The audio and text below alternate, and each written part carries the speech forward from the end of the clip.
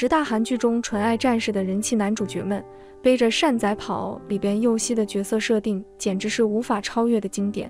而南柱赫虽然帅气逼人，但他的结局却让人心生遗憾。下面就让我们一起来盘点一下那些在韩剧中痴情于女主角的纯爱战士男主角们吧。一背着善仔跑，柳善仔，近来有没有被边佑熙主演的《恶之花》中的剧情深深吸引呢？在剧中，他扮演的角色柳善仔与女主角任绿在一场大雨中偶然相遇，那个女孩明亮的笑容如同阳光洒在心头，使得他立刻就坠入了爱情的漩涡。虽然任绿对他毫无印象。但善仔依然把这份感情深埋心中，长达十五年。从稚嫩的少年成长为备受瞩目的顶尖明星，他一直坚守初心，没有任何改变。更为惊人的是，他居然还亲自创作并演唱了一首名为《阵雨》的热门歌曲。这首歌正是为了任律而作。当善仔与任律终于走到一起，他完全变成了一个痴迷的宠妻狂魔。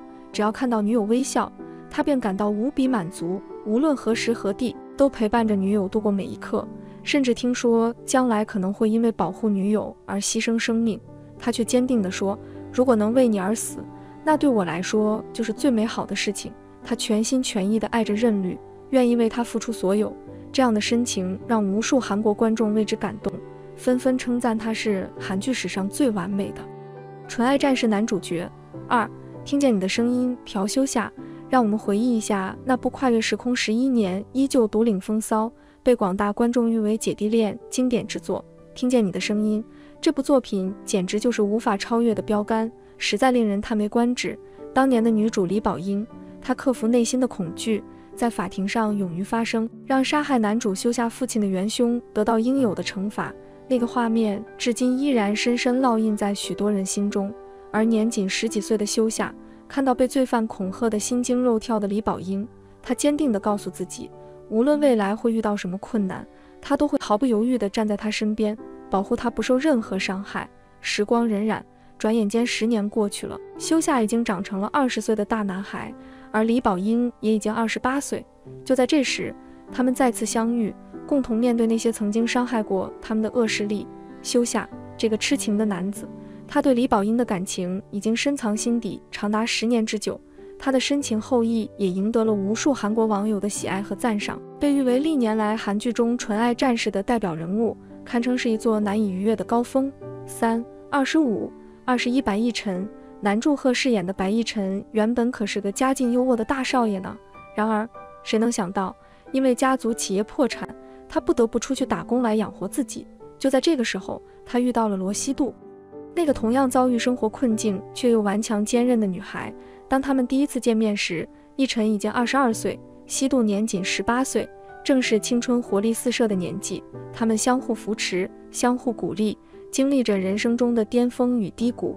看到西渡慢慢成长为一名优秀的击剑选手，成为国家代表队的一员，他们之间的感情也在悄然滋长。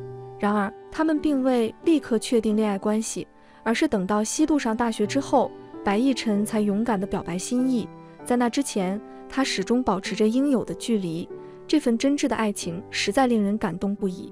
然而，这对充满青春气息的 CP 最终以悲剧收场，让无数剧迷们痛心疾首。当他们分别二十五岁和二十一岁那年选择分手，让人心碎。多年以后，罗西度在国际大赛中勇夺金牌，而白亦辰则成为了新闻台的主播。再次相见，却是通过新闻连线。更令人揪心的是，此时的西渡已经嫁作他人妇，而亦辰依然孤独一人。尽管时光荏苒，岁月如梭，西渡已经嫁作人妻，但他在亦辰心中的地位从未改变。当他忘记账号密码时，输入的答案仍然是罗西度。四那年，我们的夏天，崔雄，有谁能抵挡得住狗狗猫猫这对 CP 的魅力呢？主人公崔雄和国妍秀，一个安静慵懒，性格温和如水。另一个进取心极强，总是争强好胜；一个是全校倒数第一的学渣，一个则是万众瞩目的全科状元。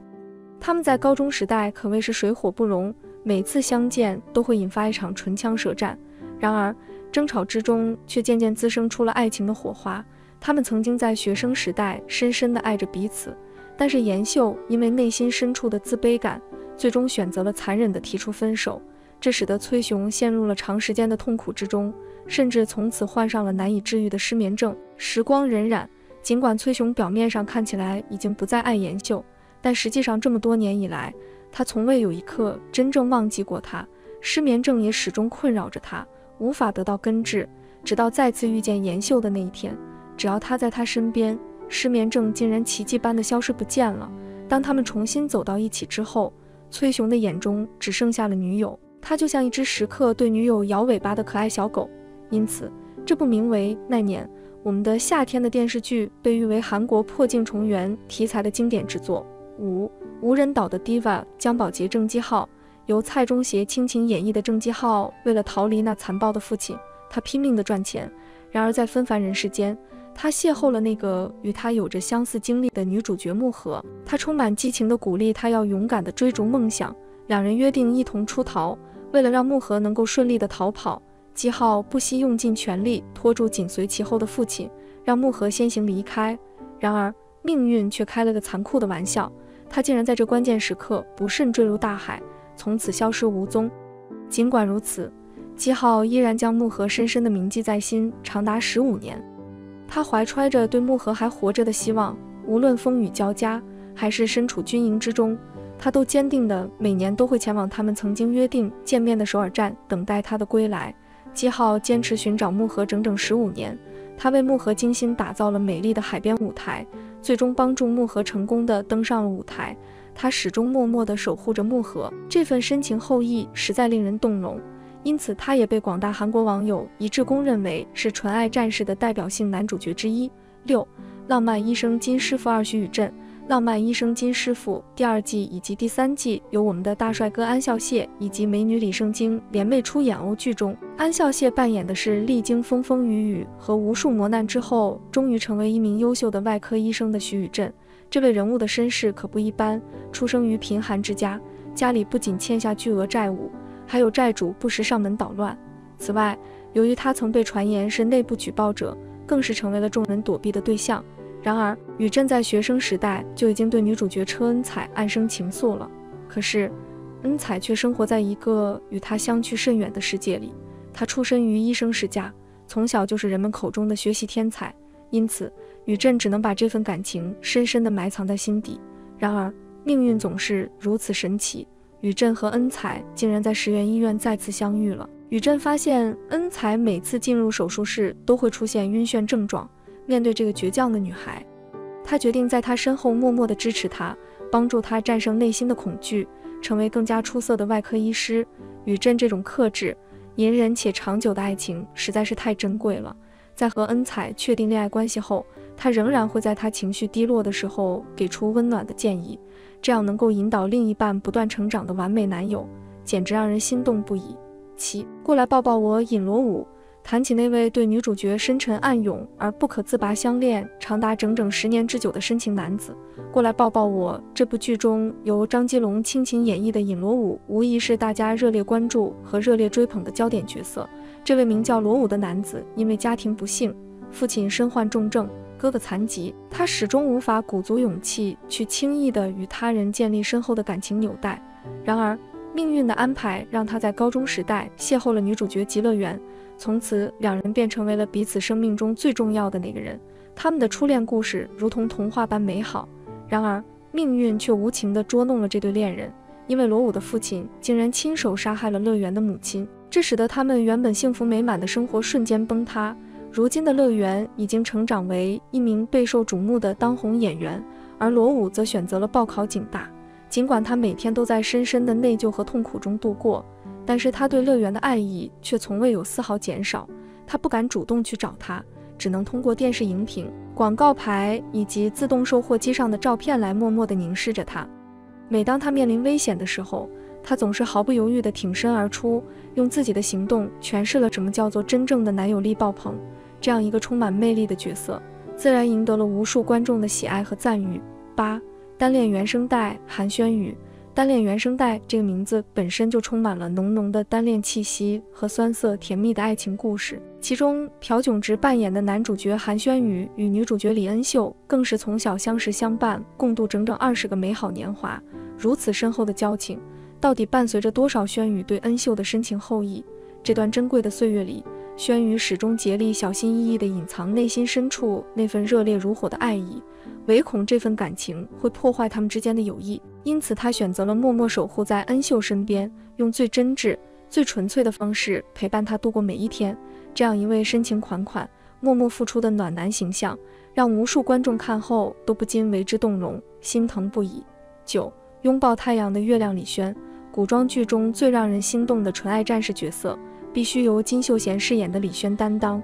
在韩剧《拥抱太阳的月亮》中，李轩身为帝王候选人，少年时就被富有书卷气息，同时又生气勃勃的女主角许嫣宇深深吸引，执着的立志要娶她为世子妃。然而天有不测风云，烟雨在大婚之前竟遭歹人设计，无奈只能诈死逃亡。失去记忆后，以神秘的神女月的身份开始了新的生活。自以为心爱人已不在人间的李轩，从此变得沉默寡言，用冷漠严峻的外表掩饰内心的痛苦。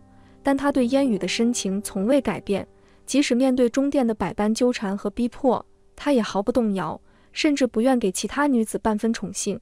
这样一个坚守贞操、只钟情于一人的少年帝王，实在是让人心跳加速啊！十，Happiness 独楼郑一贤，又是一部朴炯植塑造的真挚爱情故事。我们的男主郑一贤曾在少年时期有着出色的棒球技能，还是球队的先发投手呢。但遗憾的是，由于膝盖受到了严重的伤害，一贤不得不放弃成为职业球员的梦想。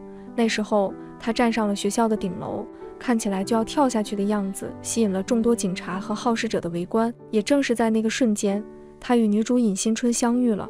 尹新春因为不能按时放学而感到不满，他勇敢地走上了顶楼。与一贤进行了一次深入的交谈，这次谈话让一贤对新春产生了深深的好感，从此开始了长达十二年的默默守护和暗恋。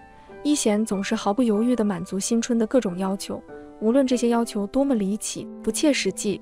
每当新春遇到危险的时候，一贤总是第一时间挺身而出，全力以赴地保护她，给予她无尽的安全感。这样的一线，无疑是充满了魅力的。特别是他对新春长达十二年的深情厚谊，更是让无数观众为之倾倒。